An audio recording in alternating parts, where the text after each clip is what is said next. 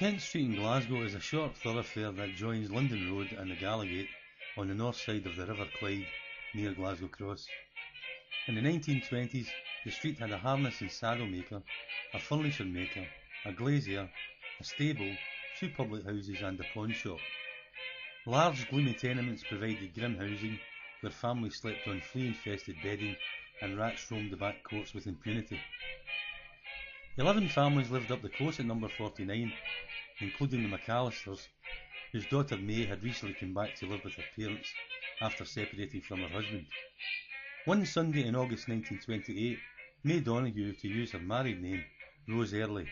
She had a breakfast of reheated salty porridge and a slice of burnt toast, washed down with a cup of black, stewed, sugarless tea.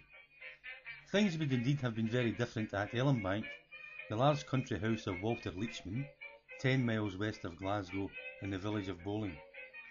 But the events of that evening brought May Donoghue and Walter Leechman together in an alliance that would change the face of consumer law over the next 80 years. That evening, Mary left the house at number 49, turned right onto London Road and walked west toward Glasgow Cross. She boarded a tramcar that took her across the river for a 30 minute journey along Paisley Road West to the town of Paisley. At 10 minutes to 9 that evening, she and a friend entered the Well Meadow Cafe. The cafe owner, Francis Minghella, smiled and took their order. May's friend asked for a pear with ice cream for herself and an iced drink for May. When he returned to the table, he poured some ginger beer into May's glass of ice cream and she drank some of the contents. Her friend lifted the bottle to pour the remainder into her glass when, it was later alleged, the remains of a decomposing snail plopped out of the bottle and into May's ice cream. Both women remonstrated with the owner who paid scant attention.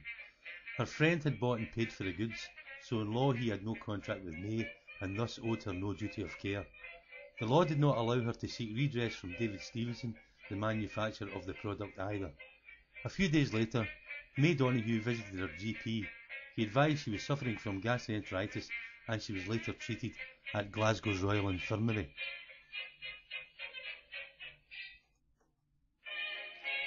We don't know how May Donoghue heard about Solicitor Walter Leechman, but she ended up in his office at West George Street near Blythswood Square. It was said that Leechman was the only solicitor in the world who would have pursued such a claim. He was, of course, already an expert on the dangers of drinking ginger beer in Glasgow, having brought a similar case the previous year when a mouse was alleged to have found its way into a bottle of ginger beer, this time manufactured by A.G. Barr of Iron Brew fame. That case was dismissed as having no legal authority for such an action, but that did not deter Walter Leechman, who agreed to proceed on May's behalf. In April 1929 he lodged a writ in the Court of Session in Edinburgh. The basic argument was that David Stevenson, the manufacturer of the ginger beer, owed her a reasonable duty of care to ensure she was not injured by the contents of his product. Fourteen months later, the judges dismissed her claim. Her legal team appealed and lost again. The only difference between Donoghue's case and the mouse case, one judge said, was the difference between a rodent and a gastropod, and in Scots law that meant no difference at all.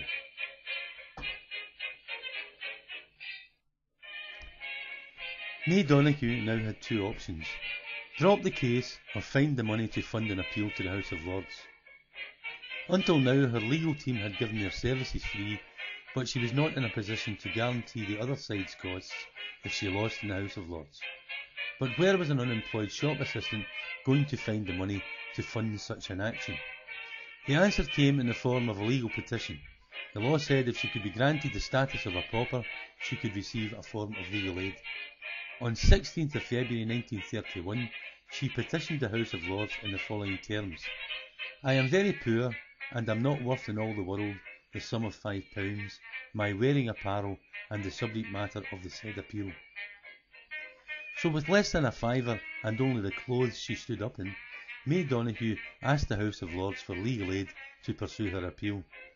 On 16th of March, a committee of Lords, Dukes, Bishops, Earls, Viscounts and Barons granted her the status of a pauper. Among the 88 barons present was Lord Atkin of Aberdovey, who would go on to write the main judgment in the case.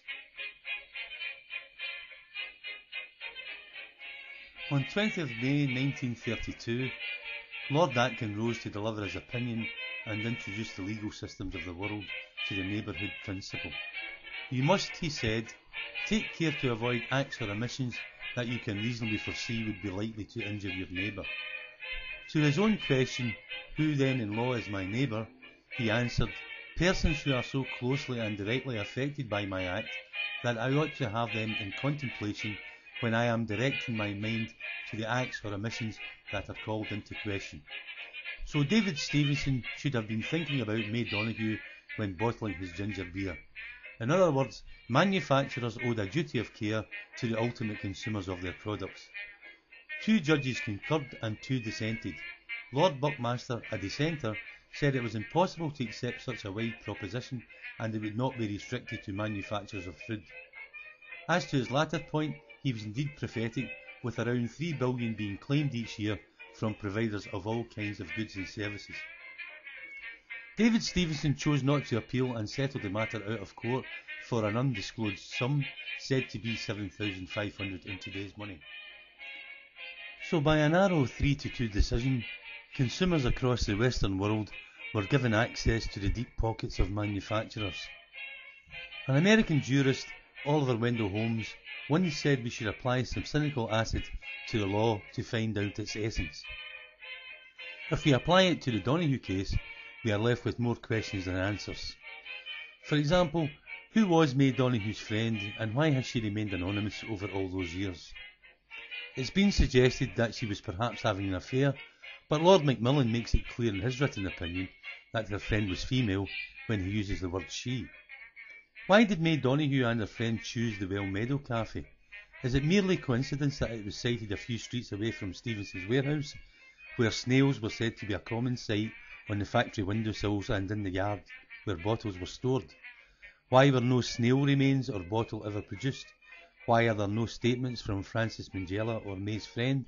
Why was no independent medical report commissioned to refute May's claim of suffering nervous shock and a stomach complaint the answer to these and other questions are, of course, in Dylan's words, blowing in the wind.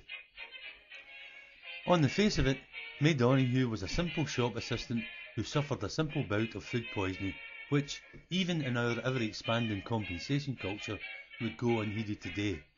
But in the late 1920s, we find a whole raft of lawyers lining up to work for nothing and to draft petitions to obtain legal aid on her behalf.